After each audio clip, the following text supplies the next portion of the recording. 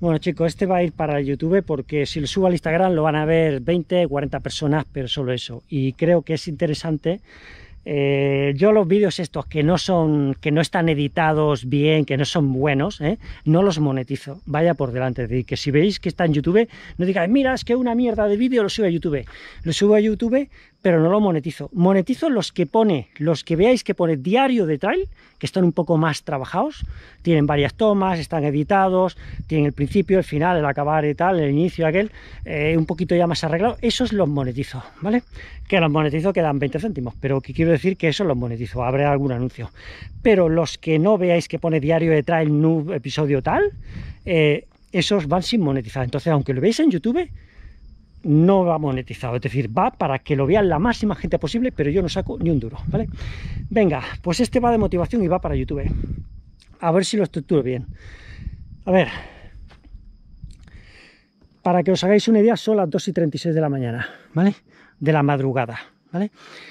Y diréis, bueno, ¿qué hace este hombre aquí? Bueno, eh, la conclusión con los años es que o haces estas cosas o no entrenas. Es sencillo. Yo tengo muchas cosas que hacer, ¿no? Cada uno tiene su vida, ¿no? Y sus cosas. Eh, y yo cuando puedo encontrar el momento es este. Lo puedo encontrar a lo mejor cada varios días, no puedo ni cada día ni nada. Pero quiero decir que al final digo, bueno, eh, ¿quieres hacer algo? Pues tienes que luchar por hacer ese algo y tienes que buscarte la vida para hacerlo. Entonces, eh, yo sé que mucha gente a lo mejor dice, hostia, yo tengo que trabajar a tal hora de la mañana, tal. Bueno, eh, yo no te digo que haga 16 series de cuestas, ¿no? Pero bueno, hazte 30 minutos de rodaje o algo así y luego te vas a trabajar o, como, como quieran montarlo. Yo, por ejemplo, he estado trabajando en cadena, yo trabajaba en la Derby, en la Derby cuando yo tenía 20 años más o menos, 20... ¿Había hecho la mili o no había hecho la mili? Yo creo que ya había acabado la mili, había acabado la mili ya o sea que tendría unos 21 más o menos, ¿vale? Estaba delgado, delgado, delgado, estaba, estaba bien. Había hecho pesas, pero, pero estaba súper fino. Con 20 años no, no hace volumen, sino de tomar esteroides. Todos los que veáis con 20 años que están fuertes están tomando esteroides, porque la constitución no deja, no deja subir de peso, ¿vale? Eh, todos los que veáis que están muy fuertes, imposible con 20 años estar fuerte, ¿vale? Si no toma esteroides. Fuerte me refiero que se vea volumen, volumen, ¿vale? Eh, de culturismo. Eh, entonces, ¿qué pasa? ¿Qué hacía yo? Yo me metía 8 horas de cadena, yo empezaba a las 6 a montar motores como un cabrón, ¿vale? Y cuando terminaba a las 2, llegaba a casa, yo vivía en Moncada, y yo cogía, y sin comer, y sin nada, ¿vale? No me acuerdo si me duchaba en la derby o yo creo que no me duchaba en la derby, creo que no, que directamente plegaba. La derby estaba en Mollet del Valles, ¿vale? Eh, bueno, pues nada, venía por la carretera de la Roca, llegaba a casa, Moncada, eh, ya digo, no, que va, ducharme ni nada, no me acuerdo ni qué ropa llevaba. Entonces no existían los GPS, no existían los GPS, no existía Strava, ¿vale? O sea, hablamos del año 68 eh, y 21, hablamos, hablamos del año eh, pues 88, 89, ¿vale? 88, 89, ¿vale? Del año 1988, 1989. No existían, existían, creo, los pulsos de, aquí de reloj para saber el pulso, que eran polar, lo único que había, era lo nuevo, ¿vale? Era polar, pero no existía nada de para controlar velocidad, GPS, no existía nada de eso, todo eso olvidaros, ¿vale? Que diréis, bueno, ¿y por qué no tiene grabado algo de eso? Porque no existía. No existía. Internet apareció en el año 95-96, digamos, para el público. 95-96, por ahí, 97, por ahí, ¿vale? Para el público. Y hablamos del año 89. ¿Vale? No existía internet, ¿vale? Contar eso. Bueno, pues yo cogía, me metía mis ocho horas, me pegaba mi madrugón, me levantaba a las cinco o antes, yo no me acuerdo, pero muy pronto, eh, empezaba a las seis como un cabrón, me metía ocho horas de cadena, ¿vale?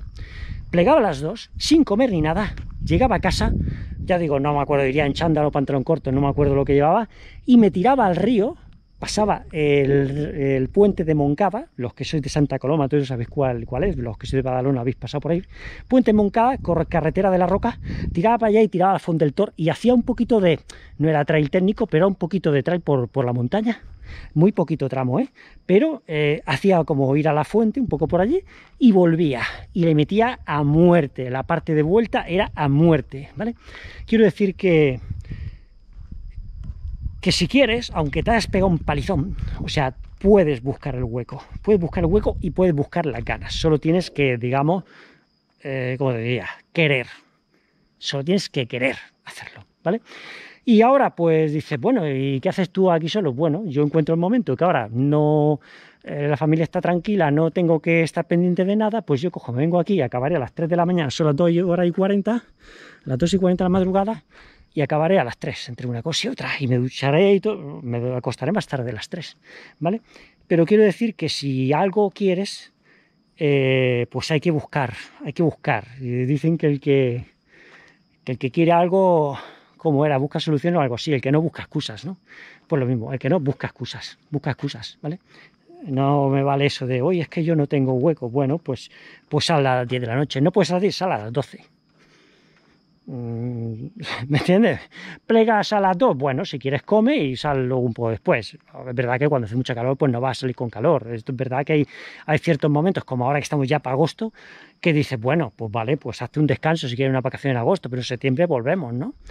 Y ya está. Entonces quiero decir que, que, que hay que buscar soluciones si quieres eh, conseguir algo, no te lo van a dar. Y además, otra cosa, la familia no te va a ayudar, así de claro.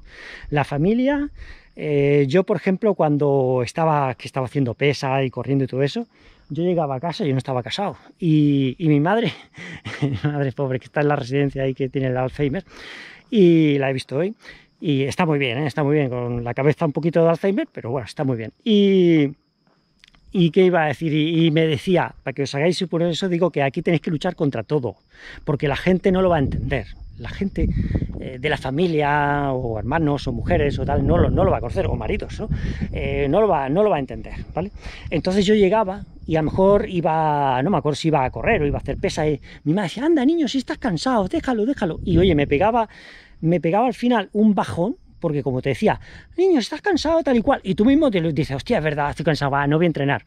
Como hagas caso de lo que te dice la familia, no haces una mierda.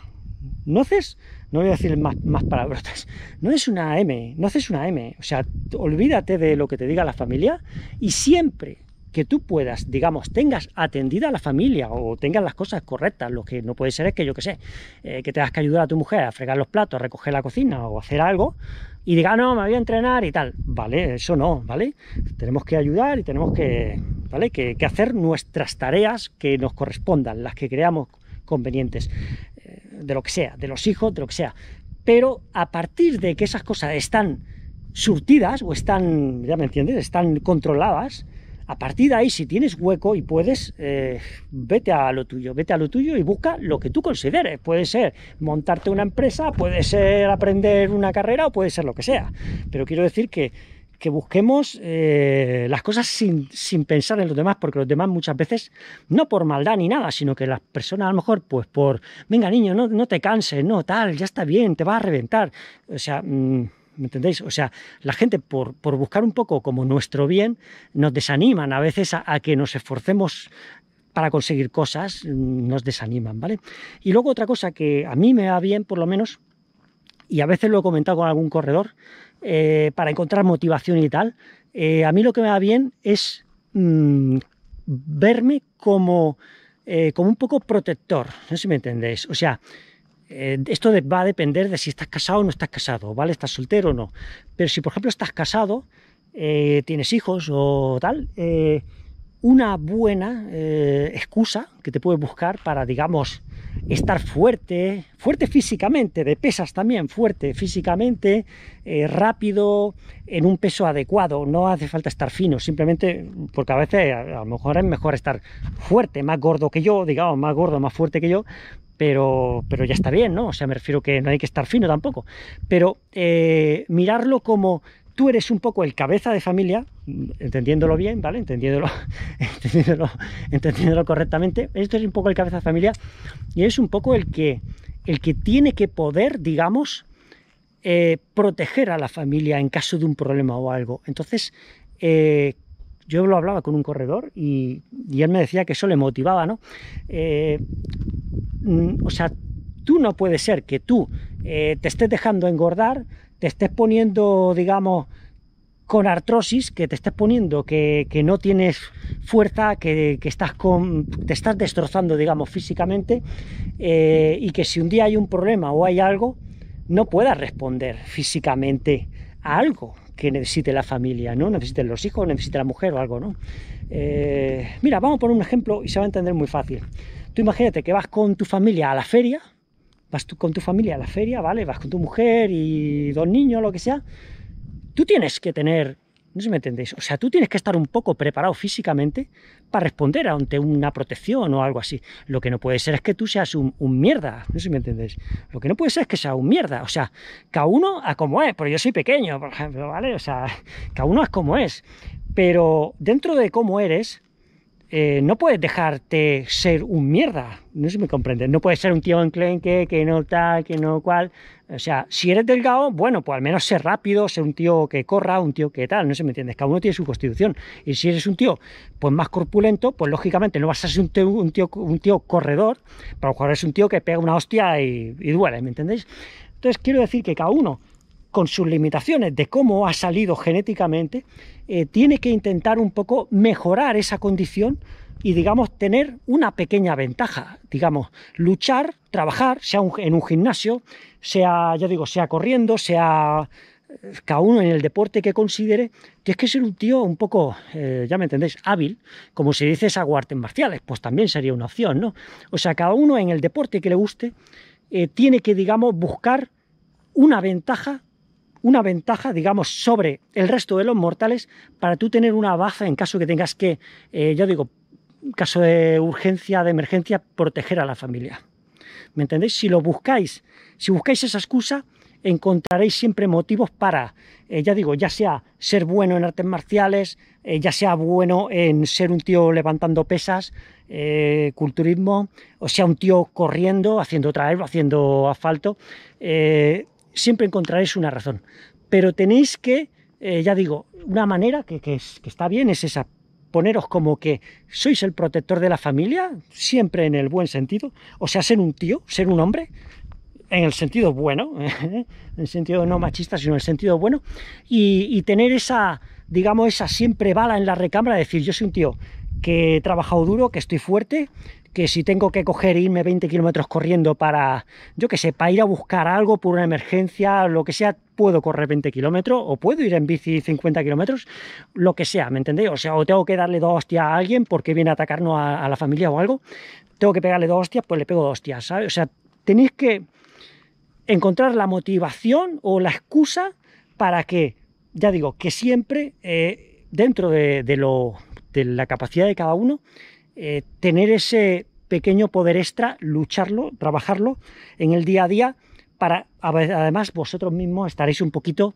eh, un poquito orgulloso, un poquillo satisfecho de decir, yo hago lo necesario, lo necesario para tener protegida a mi familia. Hago lo necesario. No hay que abusar de, ser, tengo que ser aquí cuarto dan de taekwondo. No, ¿me entiendes? Pero, eh, ¿me entendéis, no? La idea. Tienes que eh, esforzarte en tener ese, esa capacidad hecha, esa capacidad tenerla, ¿vale? A partir de ahí no hace falta que seas el más rápido del mundo, el más fuerte del mundo, ni nada, simplemente eso.